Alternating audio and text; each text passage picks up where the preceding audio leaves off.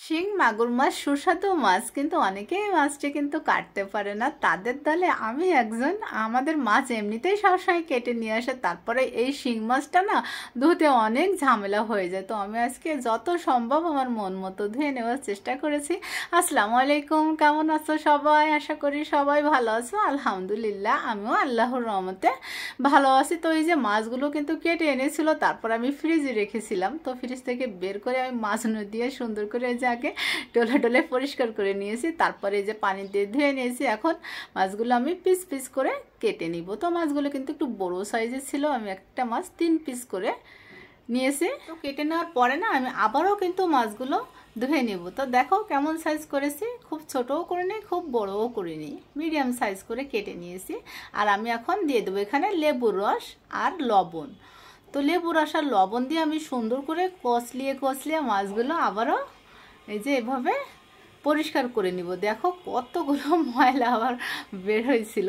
তারপরে আমি আবার পানি দিয়ে খুব সুন্দর করে এই যে ধুয়ে নিয়েছি। দেখো এখন কি সুন্দর ঝাকঝাকা চাকচাকা হয়ে গেছে। এখন আমি চলে যাব, চুলায় রান্না করতে। তো এই যে চুলায় প্যান বসিয়ে দিয়েছি দিয়েছি পরিমাণ মতো তেল। আর দেবো এখানে পেঁয়াজ কুচি। আমি দেড় কাপের মতো পেঁয়াজ কুচি দিয়েছি। পেঁয়াজ কুচিটা একটু বেশি দিয়েছি।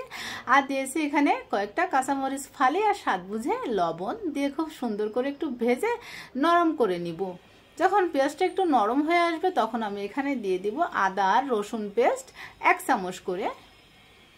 তো দিয়ে আমি আবারও পেঁয়াজের সাথে খুব সুন্দর করে একটু ভেজে নিব, এতে করে আদা রসুনের কাঁচা গন্ধটা চলে যাবে। এখন আমি একে একে গুঁড়া মশলাগুলো অ্যাড করব। এখানে দিয়েছি হলুদের গুঁড়া হাফ চামচ, মরিচের গুঁড়া এক চামচ, জিরের গুঁড়া হাফ চামচ, ধনিয়া গুঁড়া হাফ চামচ। আমি কম মশলা দিয়ে শিং মাছের পাতলা ঝোল রান্না করব। শুধু পেঁয়াজটা একটু বেশি দিয়েছি, কারণ এমন রান্নাতে একটু পেঁয়াজ বেশি না দিলে কিন্তু ভালোই লাগে না। তো এই যে সব কিছু আমি সুন্দর করে ভেজে নিয়েছি, এখন দিব সামান্য পরিমাণে পানি। পানি দিয়ে মশলাটা একটু কষিয়ে নিব। যখন কষানো হয়ে যাবে তখন আমি দিয়ে দেবো কেটে ধুয়ে রাখা সেই শিং মাছগুলো। শিং মাছগুলো কিন্তু আমি সবগুলোই নিয়ে নিই, কিছুটা মাছ আমি ফ্রিজে রেখে দিয়েছি আর বাকিগুলো এই যে আমি এখন দিয়ে সুন্দর করে মশলার সাথে কষিয়ে নিব।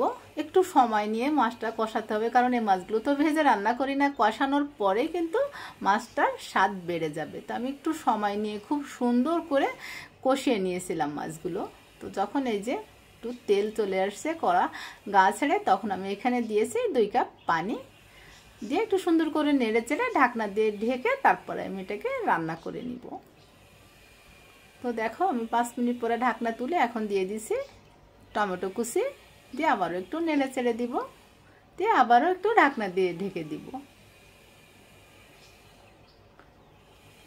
দিয়ে এবার এই যে ঢাকনাটা তুলে দেখো, রান্নাটা কিন্তু প্রায় শেষের দিকে। এ পর্যায়ে আমি একটু লবণটা চেকে নিব। যদি লবণ ঠিক থাকে তাহলে আর লবণ দিব না, আর দিয়েছি। এখানে আমি ধনিয়া পাতা দিয়ে একটু নেড়ে চেড়ে নিব।